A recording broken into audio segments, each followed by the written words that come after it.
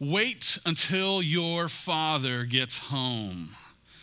It's the threat my mom would issue whenever I refused to respect her authority when I was a kid. And I have to admit that it was a threat that never failed to work.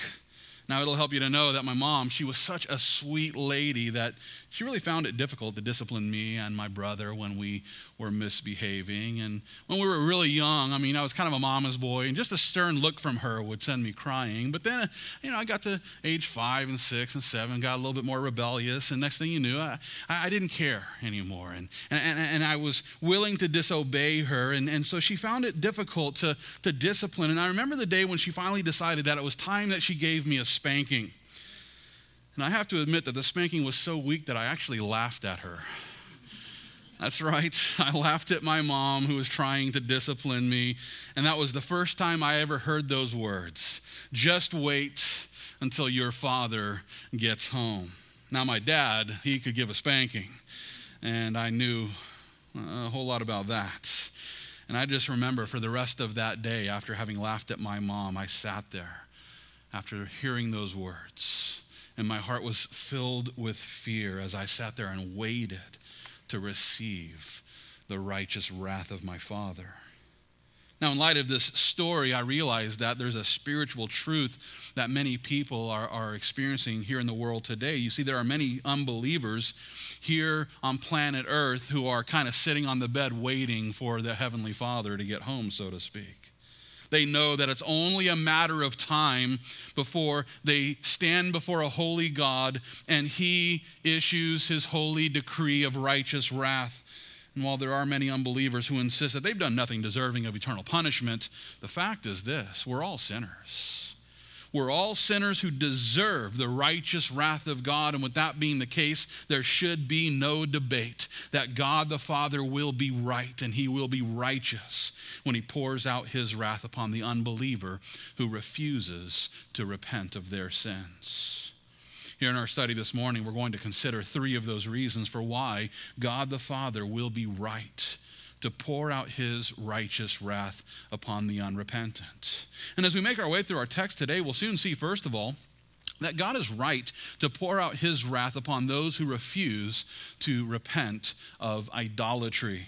Secondly, this morning, we'll see that God is right to pour out his wrath upon those who refuse to repent of tyranny.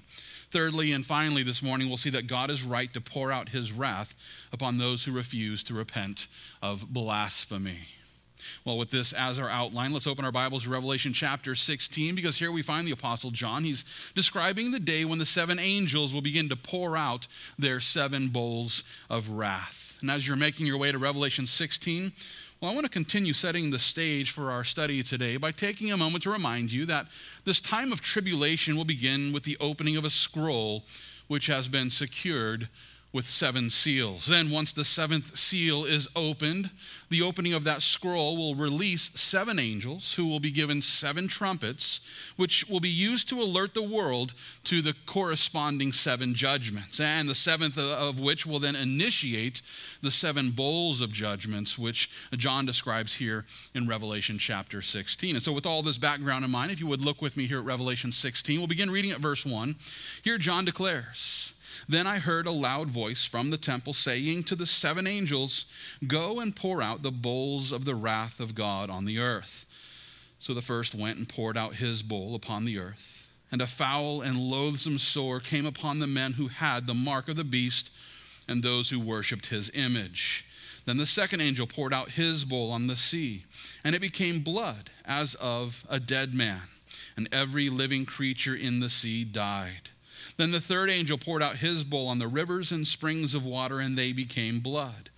And I heard the angel of the waters saying, You are righteous, O Lord, the one who is and who was and who is to be, because you have judged these things. For they have shed the blood of saints and prophets, and you have given them blood to drink, for it is their just due. And I heard another from the altar saying, Even so, Lord God Almighty, true and righteous are your judgments. Then the fourth angel poured out his bowl on the sun, and power was given to him to scorch men with fire. And men were scorched with great heat, and they blasphemed the name of God who has power over these plagues, and they did not repent and give him glory. Then the fifth angel poured out his bowl on the throne of the beast, and his kingdom became full of darkness, and they gnawed their tongues because of the pain. They blasphemed the God of heaven because of their pains and their sores, and did not repent of their deeds.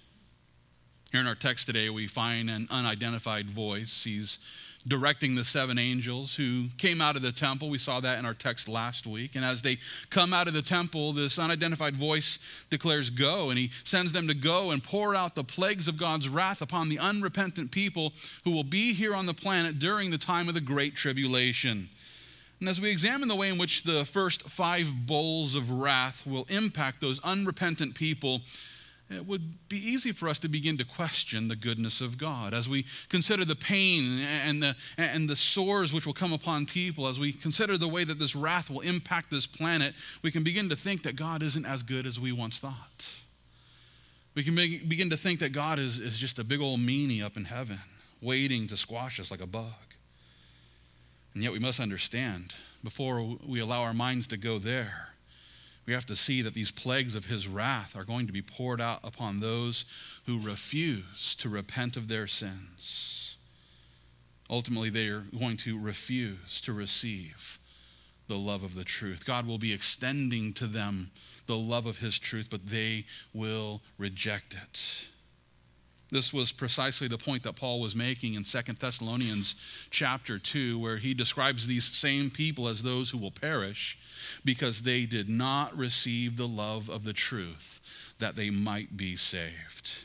Not only that, but he's also telling us there in Second Thessalonians 2 that they're going to be condemned uh, not because God just wants to condemn them, but rather because they will not believe the truth, but instead they take pleasure in their own unrighteousness. And so we see then that the unbelievers who are here during the Great Tribulation, uh, they're going to receive the seven plagues of God's wrath because of their unrepentance, because they refuse to repent. And first of all, we see that they refuse to repent of their idolatry.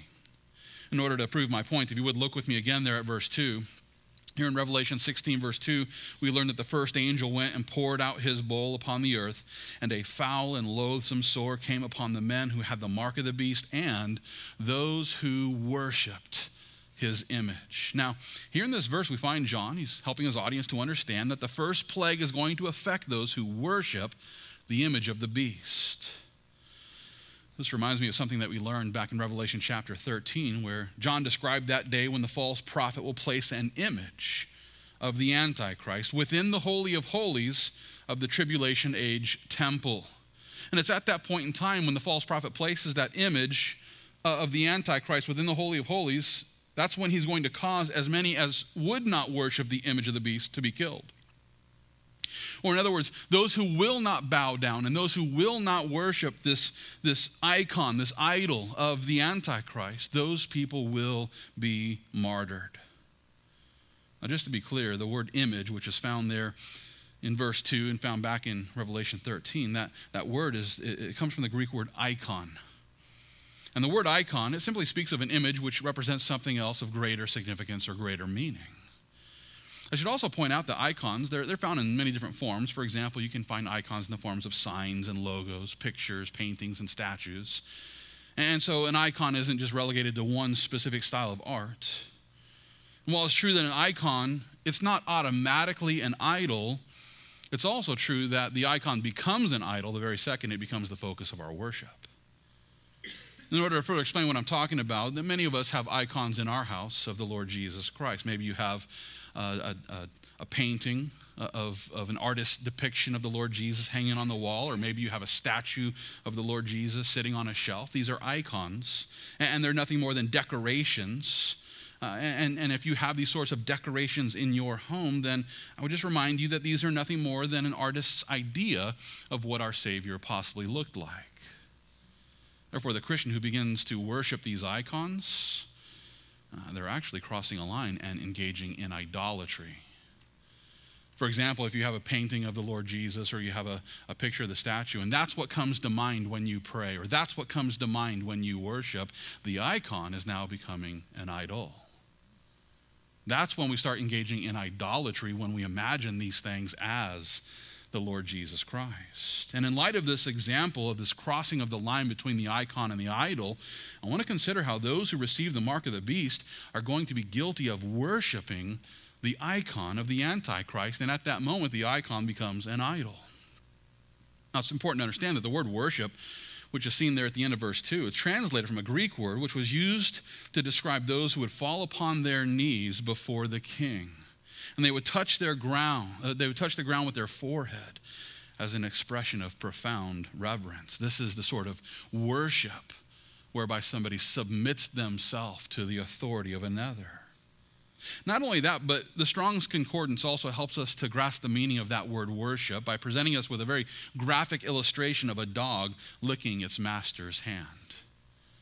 If you have a dog and that dog, you, you come home from work and that dog is just so excited, you know, to see you. I mean, some dogs uh, are so excited that they just run up and start licking you, right? And that's the kind of worship that we're supposed to have for the Lord. We're supposed to be so excited to be in His presence, so excited that, that we just want to kiss Him. It's also interesting to note that this is the same word, worship, that the Lord Jesus used in Matthew chapter 4, where he declares, You shall worship the Lord your God, and him only you shall serve. We're only supposed to worship the Lord. No icons, no idols. We're not supposed to worship anything other than the Lord. And we do this by serving him.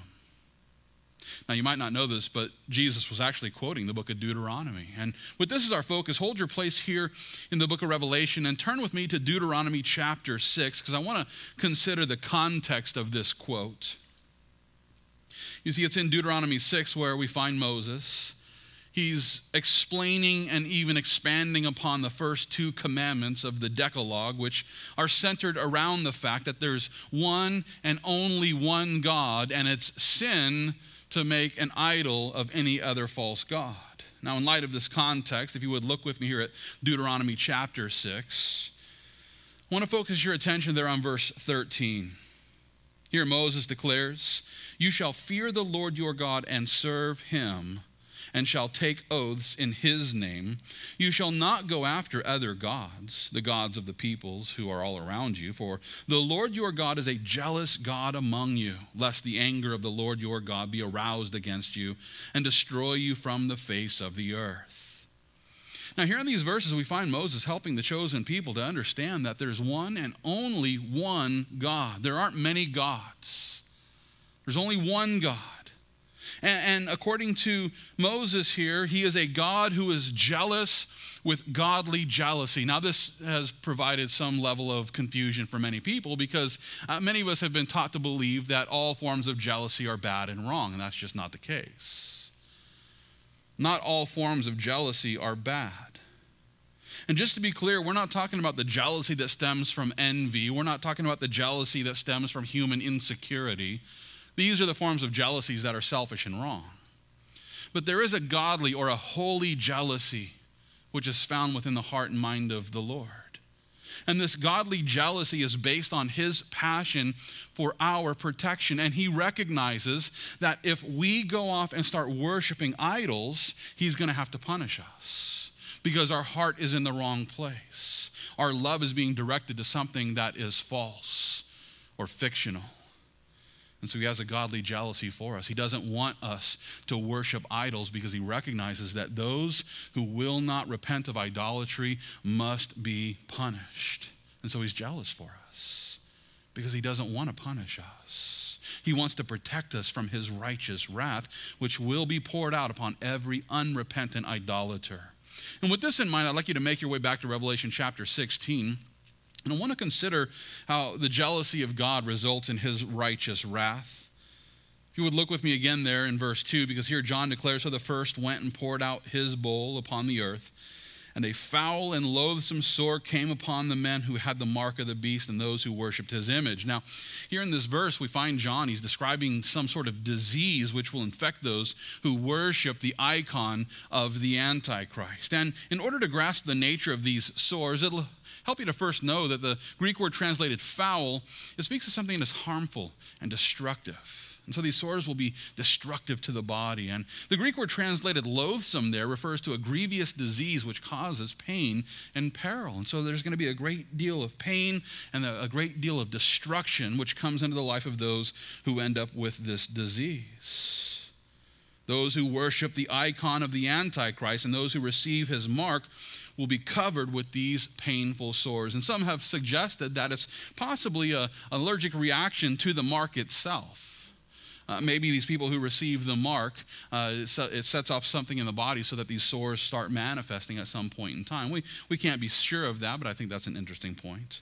But regardless of how it happens, the Lord is going to send an angel to pour out this bowl, and as a result, people are going to be covered with these sores, and it's going to be painful. And yet, it's all because they were worshiping the icon of the Antichrist. This all reminds me of the sixth plague that the Lord poured out upon the Egyptians at the time when the Lord sent Moses to call for the release of the Hebrew slaves. It was at that point in time when the Egyptians found themselves covered with painful boils because they would not repent and respect the desires of the Lord. They wouldn't set the Hebrew slaves free. And so the Lord covered them with painful boils. Rather than repenting of their sins and rather than repenting of their slavery, they continued to harden their hearts against the Lord. And it's in similar fashion that the unbelievers who are here during the Great Tribulation, they're also going to find themselves covered with painful sores, much like those Egyptians. And just like the Egyptians, they too will continue to harden their hearts against the Lord. It's for this reason that the Lord will be right to pour out his wrath upon those unrepentant unbelievers. Now, this brings us to our second point because listen, God will not only be right to pour out his wrath upon those who refuse to repent of their idolatry, but God will also be right to pour out his wrath upon those who refuse to repent of their tyranny. And with this as our focus, let's continue to make our way through Revelation chapter 16, where we find the Apostle John. He's describing the second and third plagues, which will eventually be poured out upon the planet. And if you would look with me there, beginning at verse 3. Here we learn that the second angel poured out his bowl on the sea, and it became blood as of a dead man, and every living creature in the sea died. Then the third angel poured out his bowl on the rivers and springs of water, and they became blood. Now, here in these verses, we find the second and the third angels. They're pouring out their corresponding bowls. And it's at that point in time when the entire sea and all the streams of the earth will be turned into something that appears to be blood, as if it were flowing from the wounds of a dead man's body. Now, it's possible that this literally is human blood. And yet, John seems to suggest here that this was merely a similitude. As a matter of fact, if you would look with me again there at verse 3, because here again, John tells us that it became blood as of a dead man. Or, in other words, it became blood like a dead man. That word as of or like seems to suggest that it's a similitude, or it kind of appears to be blood, but it's not. You might remember it was back in chapter 8 where John described a day when the second angel, who has the second trumpet, will, will blow his trumpet. And at that point in time, something like a great mountain burning with fire is thrown into the sea. And it's at that point in time when a third of the sea becomes like blood. There's some sort of corresponding effect to this great mountain falling into the sea and then the water turning into something that looks like blood. Not only that, but it's at that point in time when a third of the living creatures of the sea will die and a third of the ships will be destroyed. And then the third angel will sound the third trumpet, and a great star, which is called wormwood, will fall from heaven and land in the sea, and it will poison a third of the waters, causing many men to die because the water is then poisoned.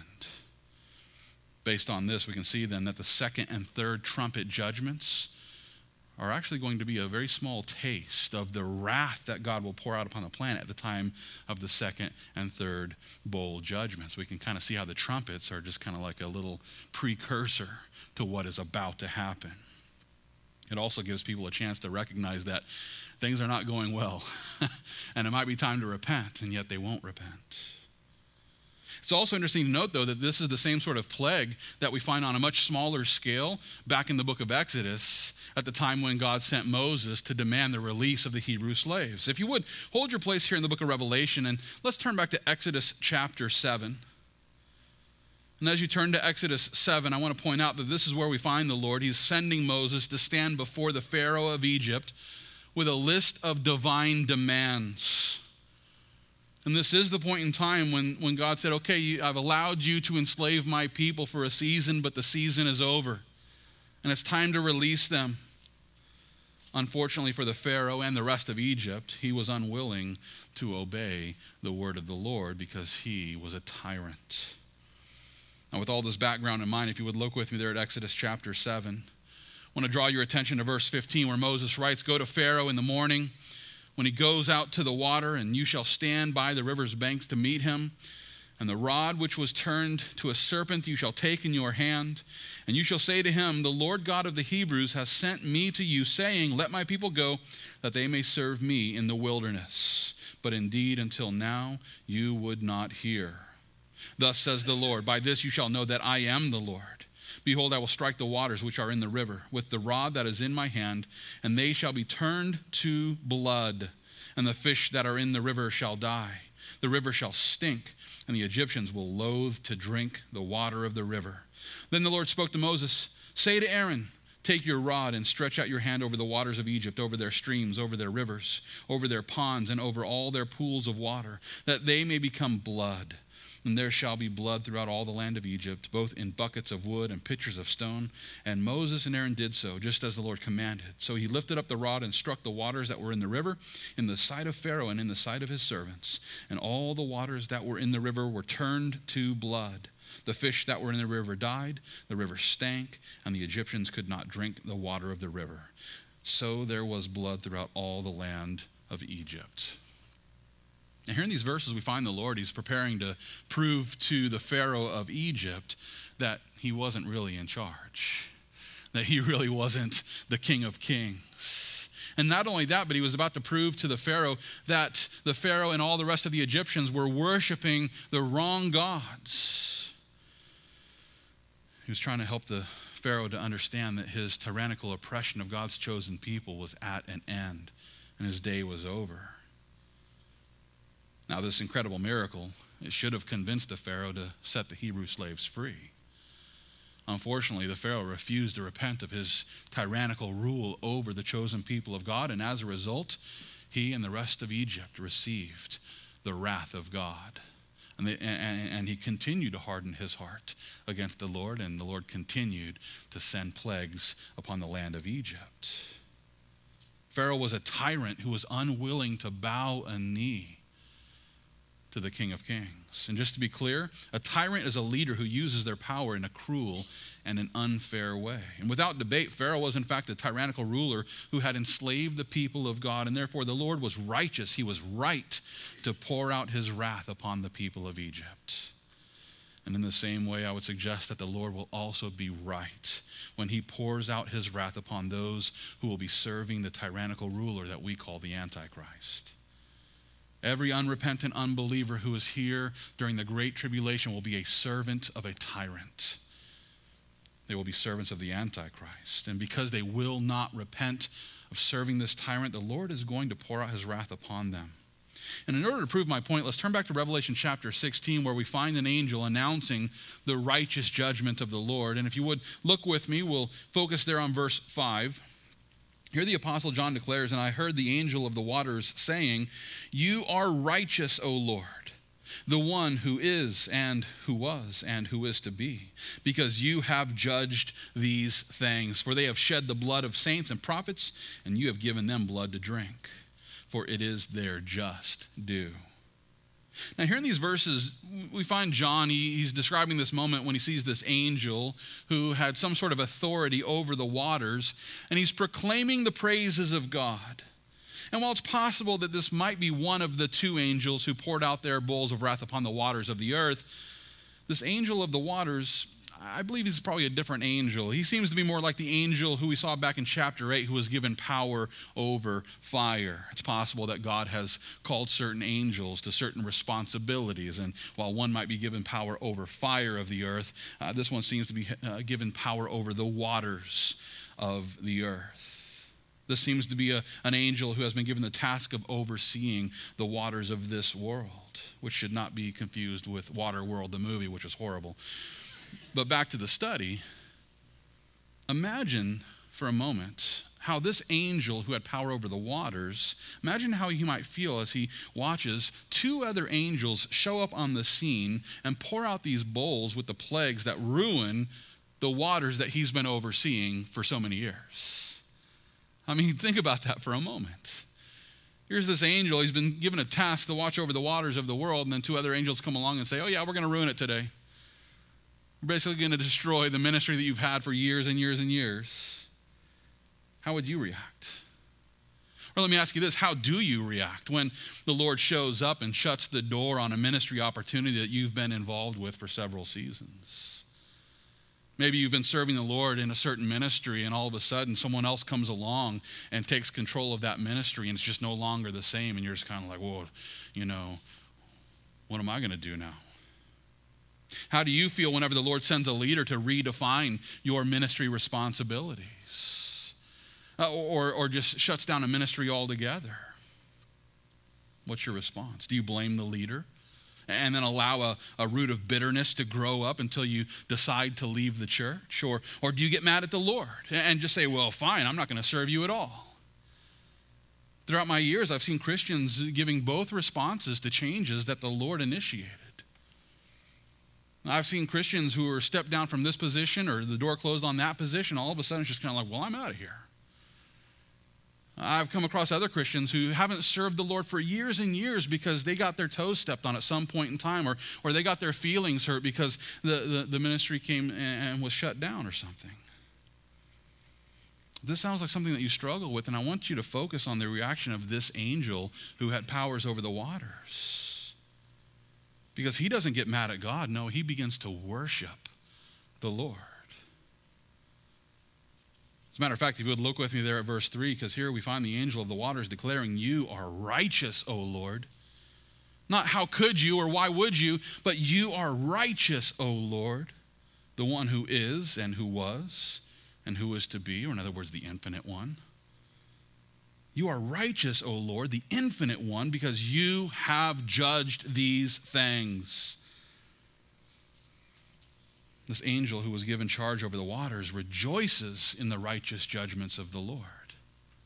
And while it's true that the Lord's decision had a negative impact on his ministry, it's also true that he was simply quick to confess that the Lord is the infinite God whose decisions are always right. As a matter of fact, the Lord is the one, he is the standard by which we determine what is right and wrong.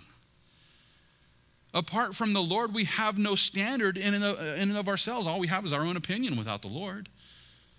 And when my opinion and your opinion don't match up, and you think something's right and I think something's wrong, and, and we're at, at an impasse and a disagreement, who has the final say?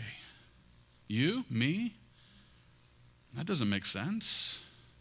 The Lord is the one who is right, and He is righteous in all of His judgments are the right judgments. Therefore, we would do well to respond to every ministry change in the same exact way by quickly realizing that the Lord is the righteous ruler, which is to say that all of his judgments are right, and what he decides is correct. And if we think it's wrong, then our perspective is the problem, not the Lord. In order to further grasp the proper perspective that this angel had, if you would look with me again there at verse 6, because here the angel declares, For they have shed the blood of the saints and prophets, and you have given them blood to drink, for it is their just due. In other words, this angel is saying, hey, look, if you want to if you want to turn all the water into blood, the, the water that I've been guarding this whole time, if you want to turn it into blood and give these people blood to drink because they've been killing your prophets and saints, it's right. It's the right thing to do. As we examine this proclamation of praise, we can see that the Lord had, will have a righteous reason for pouring out these plagues on the day when he turns the water of this world into blood. In order to further prove my point, let's consider something that another angel says there in heaven. If you would look with me there at verse 7, because here John declares, I heard another from the altar saying, Even so, Lord God Almighty, true and righteous are your judgments. Here in this verse, we find another angel, a second witness, if you will, standing at the altar there in heaven, confirming the fact that the judgments of God are not only true, meaning they correspond to reality, but they're also righteous, which is to say that they are always right. whatever, God's, whatever God decides, it's right and it's true. And in this case, we can certainly agree that those who are submitting themselves to the tyranny of the Antichrist will deserve the wrath that they received during the time of the Great Tribulation. And so consider the contrast here, because here you have an, an angel who is given authority over, over water, but he's not going to be a tyrannical ruler over the water by saying, No, God, you're wrong. Listen to, to, to what I say. And yet, that's exactly what the Antichrist will be doing. He's going to be saying to God, No, you're wrong, God. And he's going to send people to kill the saints and the prophets during the time of the tribulation. Therefore, God will be right when he pours out his wrath upon this tyrant that we call the Antichrist and those who serve him. It's important for us to understand that God is eventually going to bring an end to the rule of every evil tyrant. And the reason why is due to the fact that there can only be one supreme leader. There can only be one King of Kings. Oh, there can be a lot of kings, but there's only one King of Kings. There can be a lot of little lords on the earth who have their own little areas of leadership, but there can only be one Lord of Lords. And seeing how the Lord God of, uh, of, the universe is the infinite one whose judgments are always true and always righteous, then doesn't it only stand to reason that every other leader here on earth should simply submit themselves to his almighty authority? And since that is the only thing that makes sense for us, then we must also agree that those who refuse to submit themselves to the King of Kings, well, they're spiritually submitting themselves to the tyranny of the Antichrist. Now, I don't know if the Antichrist is on the planet today or not. Uh, my guess is that he is. But you have to understand that any ruler who will not submit to the King of Kings is submitting themselves to the spirit of the Antichrist. The spirit of the Antichrist is to, to say, we don't need the real Jesus, I'm here as Jesus. We don't need the real King of Kings, let me rule the world. That's the spirit of the Antichrist. And it's nothing more than evil tyranny. And those who will not submit themselves to the King of Kings are submitting themselves to the spirit of the Antichrist, which is nothing more than an evil tyranny. And it's for this reason that God is right to pour out his righteous wrath upon every person who attempts to live as a tyrant, regardless of their sphere of authority. So we see then that God is right to pour out his wrath upon those who refuse to repent of their idolatry, and God is right to pour out his wrath upon those who refuse to repent of tyranny.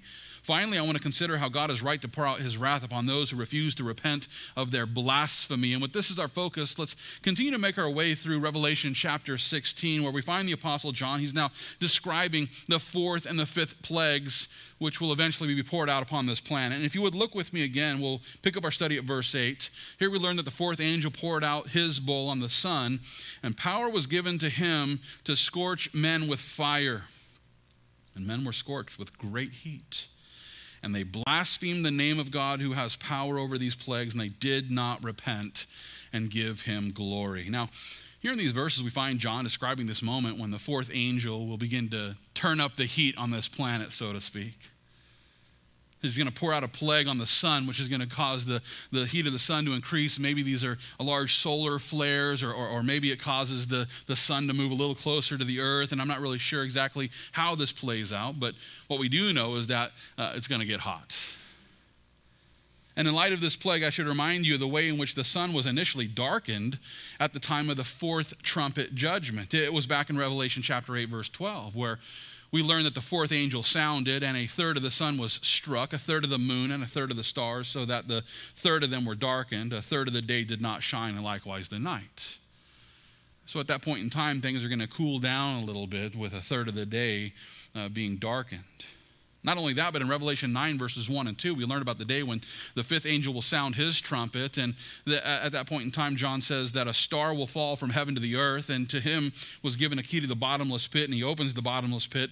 And, and that's when smoke rises up out of the pit like the smoke of a great furnace, so that the sun and the air were darkened because of the smoke of the pit. And so here we find two different ways which the light of the sun will be darkened here on earth. The light of the sun will be drastically diminished from the time of the fourth trumpet judgment until the day when the fourth bowl is poured out upon the sun. And it's at that point in time when the heat of the sun will be turned up. It will be intensified so much that those who are here on the earth will be tormented and tortured by the heat of the sun. Now, I recognize that this is what we might call an inconvenient truth. But there should be no doubt that God is the one who will be causing the world to experience a whole new level of global warming. And I don't care how many Priuses we drive around today, this is going to happen. This is going to happen. And God's going to be the one doing it. As hard as people are working today to stop global warming, God is going to turn up the heat. As a matter of fact, if you would look with me again there at verse 9, because here we learn that the men who will be scorched with great heat will blaspheme the name of God who has power over these plagues.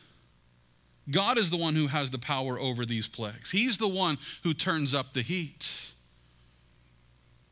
He's the one who will scorch the earth at that point in time. And it's for this reason that we learn at the end of verse 9 that they're going to they're going to continue to sin. They will not repent, nor will they give God glory. As the heat gets turned up and people are starting to burn up, they're not going to repent. They're not going to say, Oh, God, forgive us. Uncle, you win. No. They will blaspheme his name. As a matter of fact, look with me there at verse 10 where we find them continuing to blaspheme the name of God. Here, John tells us that the fifth angel poured out his bowl on the throne of the beast and his kingdom became full of darkness, and they gnawed their tongues because of the pain. They blasphemed the God of heaven because of their pains and their sores, and did not repent of their deeds. Now, here we see the, uh, the scorching heat of the fourth plague giving way to a painful darkness which will come upon the earth at the time of the fifth plague. And, and more specifically, this darkness will, will really affect the throne of the beast and his kingdom. So that might just be a description of the entire earth at that point in time, or it might just be a specific area, but there's going to be a darkness that comes upon the kingdom of the Antichrist. And it's possible that this darkness is going to be caused by uh, smoke from fires, which will start to break out from the scorching heat of the fourth plague. Uh, imagine as the sun gets hotter and hotter, uh, you know, that things are just going to start catching on fire. And so maybe uh, the, the sun is once again darkened by smoke. At the same time, it's also possible that John was describing the darkness of blindness. One reason for believing this is based on the fact that the Greek word, which is translated darkness, well, it was oftentimes used metaphorically to describe blindness. You might not know this, but your eyes can actually get sunburnt, just like your skin. Your eyes can get sunburnt. As a matter of fact, the, the front clear surface of the eye, which is called the cornea, is composed of a tissue which is very similar to the skin, therefore can suffer, uh, uh, you know, sunburn. This condition is known as keratitis, and it results in blurry vision and even the inflammation of the cornea. I even uh, read one guy's testimony after having his eyes sunburnt while he was on vacation. And he talked about the way that he would wake up in the middle of the night and his eyeballs just felt like they were on fire. Imagine that, just sunburnt eyes. Now remember, the heat of the sun is going to be intensified at the time of the fourth plague. And men are going to be scorched with that heat. And you better believe that this is going to affect their eyes as well. So it's not hard to imagine that there's going to be many during that time who suffer from severe keratitis, and their eyes are going to feel like they're on fire. I believe that this is why John tells us that they're going to gnaw their tongues because of the pain. I'm sure we've all been in darkness before. Maybe you sleep with a nightlight still. But I'm sure most of us have been in the dark, and, there's no pain uh, that comes from darkness unless you're walking through the house and step on one of your child's Legos. But darkness in general just doesn't produce pain. And so, what kind of darkness comes along with pain so bad that you gnaw your tongue. And I'm guessing that it's going to be keratitis, that their eyeballs are going to be scorched by the sun. Not only that, but there in verse 11, John also describes the way in which they will blaspheme the God of heaven because of their pains and their sores and did not repent of their deeds. Those unrepentant unbelievers who will be here during the Great Tribulation will refuse to repent of their evil deeds. Rather than repenting of their sins, they will continue to blaspheme the God of heaven. And for the sake of clarity, it'll help you to know that the Greek word translated blaspheme, it's used when referring to those who speak reproachfully of another or uh, when someone defames the good name of another. That's blaspheming. Therefore, those who speak reproachfully of the Lord, they're going to be blasphemers. Uh, you probably know what I'm talking about. Like if you've ever worked a construction job, then it's not uncommon to see people hitting their hand with a hammer and, and, and, from that pain, just instant blasphemy. For years, I worked demolition. They would hook me up to a chain and then just swing me into the sides of walls and just, I was, I was the wrecking ball. But I constantly heard just the blasphemy of God as people would be injured on the job. Or maybe you just work, a, you know, a, an office job, but still something goes wrong. And, and the first words out of someone's mouth when they're disappointed is the name of Jesus. But being used like a curse word, they're not calling upon him and praying to him. No, they use the name of our Savior like a curse word. That's blasphemy. And that's exactly what's going to happen here. They're going to come to this place of extreme pain and torment. And rather than crying out in repentance, they're going to swear with blasphemy against the God of heaven. Now, in order to grasp the seriousness of this sin, we should take a moment to consider something that Jesus talked about in Matthew chapter 12. And so, if you would, let's turn to Matthew 12, where we find the Lord Jesus. He's actually warning his audience about the sin, which is commonly referred to as the blasphemy of the Holy Spirit. And in order to understand the nature of this sin, it's important to understand that the Holy Spirit is the third person of our triune God. Remember, our, our God, the, the one God of, of heaven and earth, the King of kings and the Lord of lords, has revealed himself as being one God in three persons. He is the Father, the Son, and the Holy Spirit, all three co equal and co eternal. And so we have one God who is triune in nature, and the third person of the Trinity is the Holy Spirit. It's also important to understand that the Lord Jesus said, If I am lifted up, I will draw all men to myself, and then turns around after his resurrection and sends the Holy Spirit to convict the world of sin and righteousness and judgment. And so the role of the Holy Spirit during the church ages is to, to, to draw unbelievers to the grace of God by helping us to understand that we're guilty and we're in desperate need of a Savior. And so, this is the role of the Holy Spirit. And with all of this in mind, I want to consider something that Jesus says here in Matthew chapter 12. Let's focus there on verse 30. Here, Jesus declares, He who is not with me is against me, and he who does not gather with me scatters abroad. Therefore, I say to you, every sin and blasphemy will be forgiven men, but the blasphemy against the Holy Spirit will not be forgiven men. Anyone who speaks a word against the Son of Man, it will be forgiven him. But whoever speaks against the Holy Spirit, it will not be forgiven him, either in this age or in the age to come. Now, here in these verses, we find the Lord Jesus. He's warning his audience about the blasphemy of the Holy Spirit. And in order to grasp the gravity of this sin, it's important for us to realize that, again, the Holy Spirit is the one who has come to draw us to Jesus Christ. The Holy Spirit is the one who comes and testifies to our hearts that we are guilty of sin. He has come to convict the hearts of men so that we might recognize that we need a Savior because we're guilty before God. Sadly, the unrepentant unbeliever is the one who hardens their heart against that internal testimony of the Holy Spirit. The Holy Spirit comes to every person and gives the, that same message that you're guilty before God and you need to repent and trust in Jesus Christ. But the unbeliever says, No, I'm not going to do that. And each time they harden their heart against the testimony of the Holy Spirit, they build a callus around their heart. They sear their heart as with a hot iron. And as they continue to, to build a callus around their heart, all of a sudden they, they can no longer hear the conviction of the Holy Spirit. And at some point in time, they're so lost in their own unbelief that they might even speak blasphemous words against the Holy Spirit. And it's at that point in time when God lets them go to their own vile passions. This is precisely the point that Paul was making in Romans chapter 3, where he assured his audience that there is none who seek after God, no, not one. And it's important to understand that none of us will initiate the search for a Savior.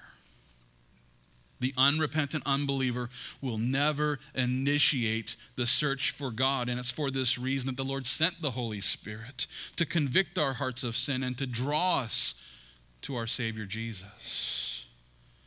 But there comes a point in time when a person has rejected the drawing of the Holy Spirit so much that they end up at the point of the blasphemy of the Holy Spirit.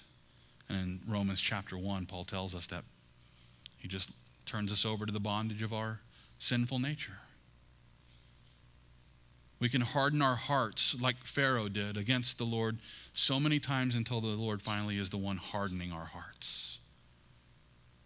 That's exactly what happened with Pharaoh. He hardened his heart against the Lord, and then another plague, and he hardened his heart against the Lord, and then another plague, and the Lord says, Okay, I'm going to give you the right to continue hardening your heart against me until finally, towards the end, God was the one hardening his heart.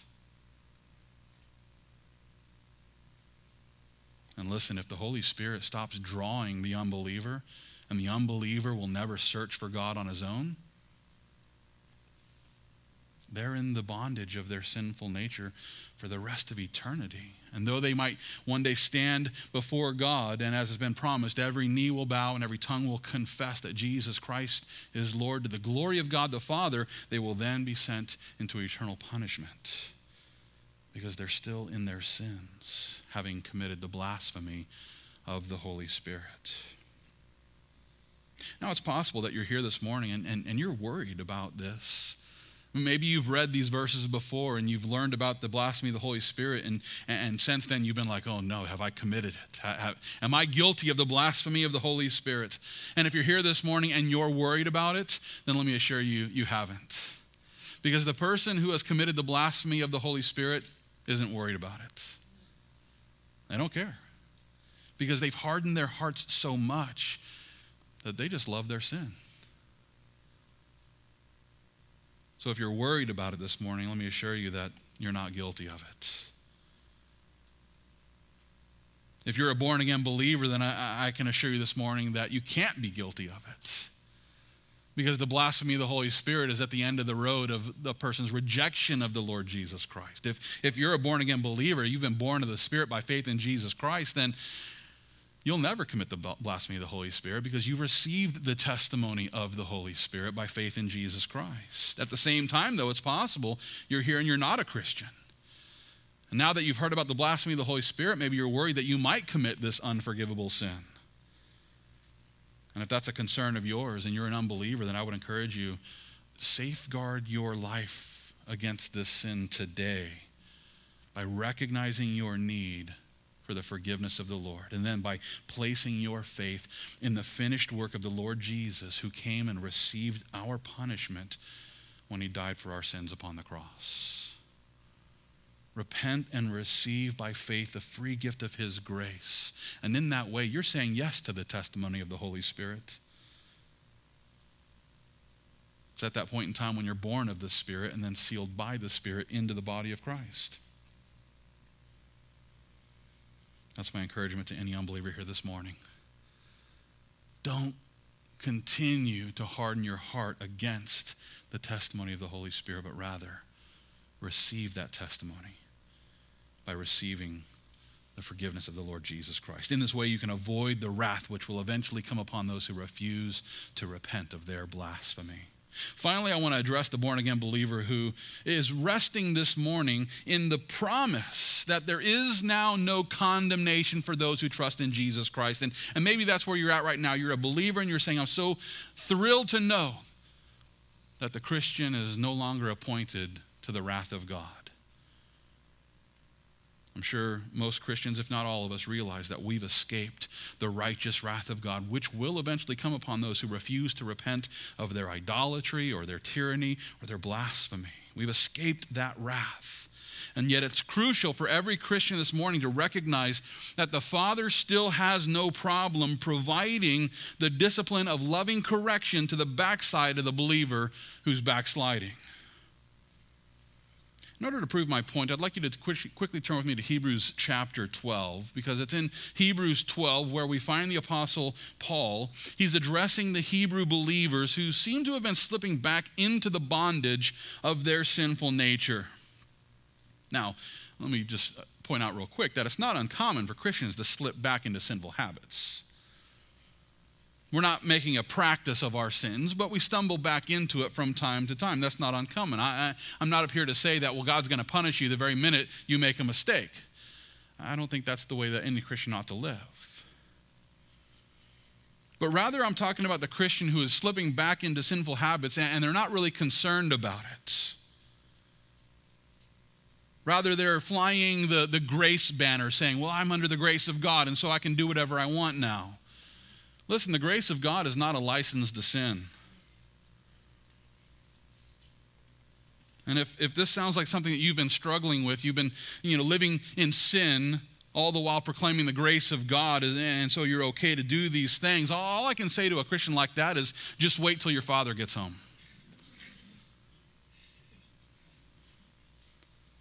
As a matter of fact, if you would look with me here at Hebrews chapter 12, I, I want to begin reading at verse 5. Here, Paul declares, You have forgotten the exhortation which speaks to you as to sons. My son, do not despise the chastening of the Lord nor be discouraged when you are rebuked by him. For whom the Lord loves, he chastens, and scourges every son whom he receives. If you endure chastening, God deals with you as with sons. For what son is there whom a father does not chasten?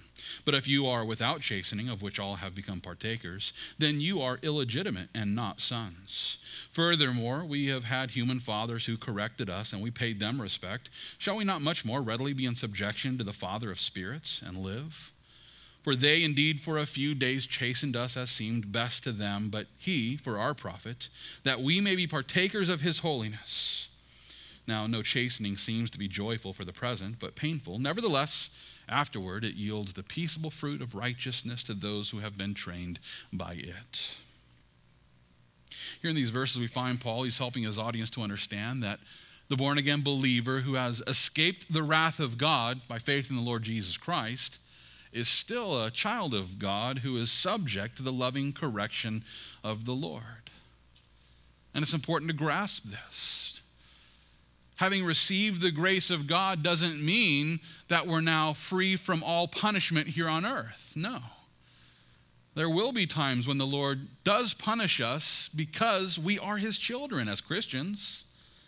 The Lord Jesus even confirmed this truth in Revelation chapter 3 verse 19 where he declares, "As many as I love, I rebuke and chasten. Therefore be zealous and repent." Christian, listen, it's possible that you're a born again believer who has been backsliding and, and you've been slipping back into old habits, and, and now you might even find yourself living in sin. And if so, it's possible that you're trying to justify your sinful decisions under the banner of God's grace. And if this sounds like you, I would encourage you with the words of the Lord Jesus Christ be zealous and repent. Be zealous and repent because the Lord Jesus has promised to rebuke and chasten those whom he loves. Before you receive that chastening, before you receive that loving correction, just correct yourself. Just get your life back on track with the Lord and ask Him for the power to help you, and He will. But maybe you find yourself this morning and you're under the correction of the Lord. Maybe you're here this morning and you've been receiving that rebuke and that chastisement of God the Father. And if so, I would just point out I, I know it's not joyful, I know it's painful. And yet we have to remember that his chastisement will yield the peaceable fruit of righteousness to those who have been trained by it. And so if you're receiving the correction of the Lord this morning, remember, it's evidence of his love for you. It's proof that you are his son or his daughter. And though it doesn't feel good, it is for our profit that we may be partakers of his holiness.